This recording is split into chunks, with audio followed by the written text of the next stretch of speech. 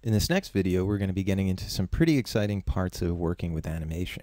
And for the most part, we're going to be seeing some things that we've seen already in different video tutorials. For example, we're going to be exploring again how to create keyframe animation, shape tween animation, and the two different types of movie clip animation, motion tween animation.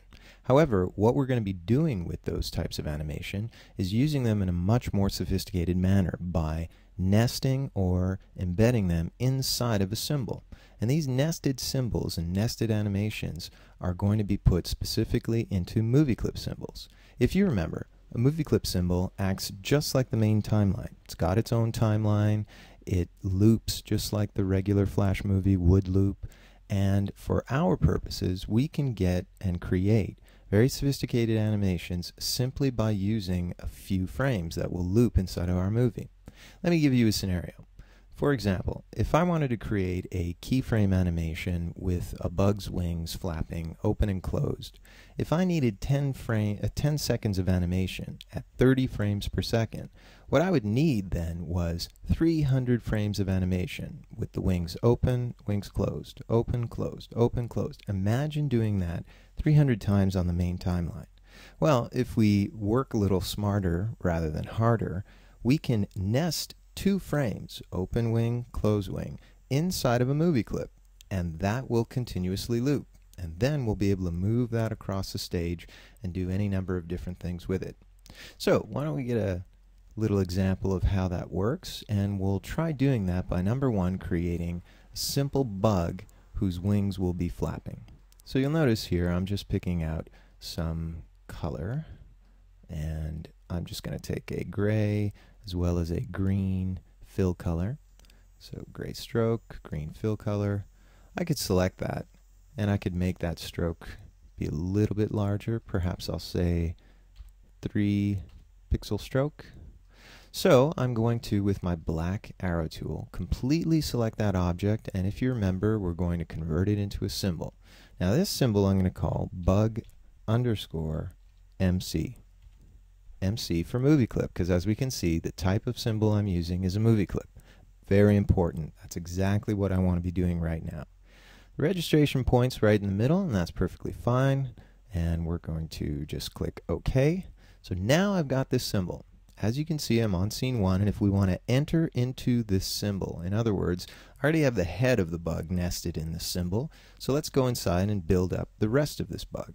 So to enter or to open this symbol, you double click, and now we're in sort of an isolation mode, and you'll see that we're no longer on scene one, we're inside the movie clip called Bug MC. I'm pressing the spacebar just to move my canvas up a little bit higher. And this is our head layer, so I'm going to name that the head layer. I don't really need anything else on the head layer, so I'm going to lock it.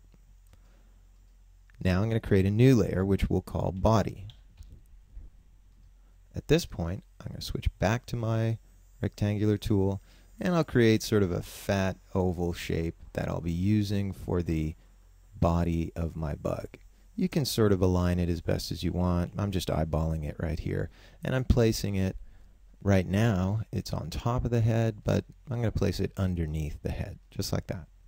Now I'm not going to need to do anything else with that body of course this is a very simple example of a bug drawing but as you can see, here's the bug and the head layer both locked. So at this point, what I'm going to do is create L wing. That stands for the left wing. So let's go about creating the left wing. Here's what we'll do. I'm just moving over my tools for a second so I could show you a little bit better. And what I'd like you to do is to just choose, you know, black color or something for the fill. Then click on it again, and we're going to change the opacity to something like 50%. All right, well at this point, I'm going to just drag that back into place. We don't really need it so large. So after taking a transparent fill color, I'm going to create my wings for my bug. So as you can see, I'm going to double click it and using my arrow keys, I'm just going to nudge it into place. Just like that.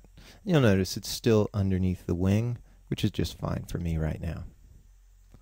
Alright, so at this point we can copy the entire frame if we wish. For example, I can right click and I could say copy this frame. And then if I create a new layer, which I'll call R wing, of course for the right wing, and I will say paste the frame. So now I've got an exact duplicate, and the reason I put it in exactly the same spot is so that we can use our arrow keys to nudge that over just a little bit as well. Alright, so I think I've got something that I'm happy with. Well, as you can see, right now, we've got both of the wings closed. And that's one frame inside the movie clip. However, what we actually want is two frames of animation. So look what I'm going to do. I'm going to click and drag the entire second frame here, and we're going to say insert frame. Now, at this point, what we have is the same the whole way through. However, on the right wing layer, I'm going to select it, and I'm going to say this second frame I want to be a keyframe. So if you remember, inserting a keyframe means when we select the object, and let's double click it so we make sure everything is selected. We're going to rotate it. Now notice the rotation is right in the center here and I don't want that so I'm going to move that up here so that my bug's wings can rotate in this direction. In fact if you want you could even hold shift. 45 degrees is a bit much for me so I'm just going to give it a much more subtle variation. So that one's open.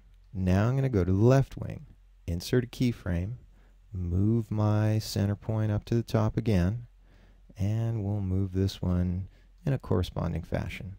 So, it doesn't have to be perfect at this point.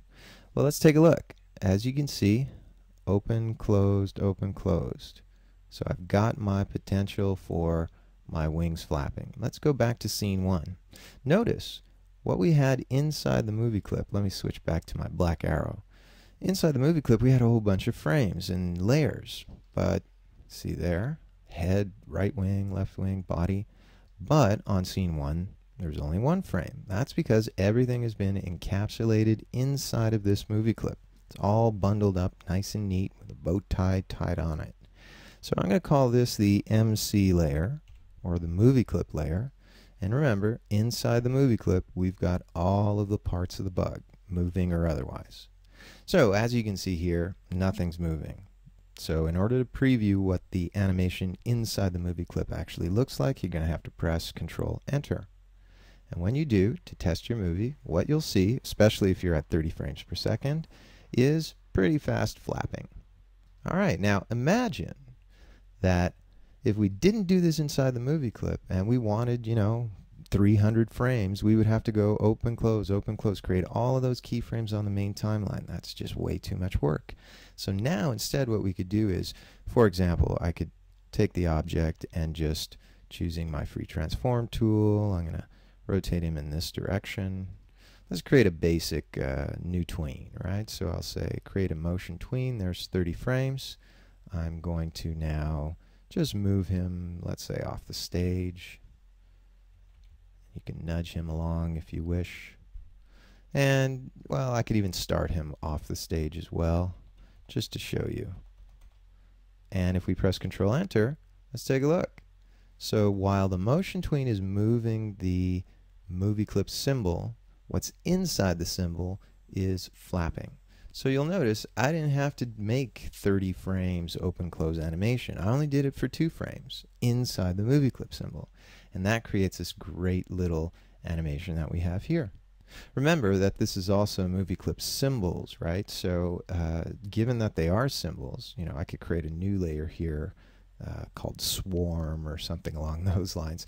And you could put as many of these bugs on the stage as you like. And when you press Control Enter, you see these things moving, um, you notice that you create a very easy to work with animation just by using nested keyframes. So come back for the next video because we're going to be looking at nested shape tweens.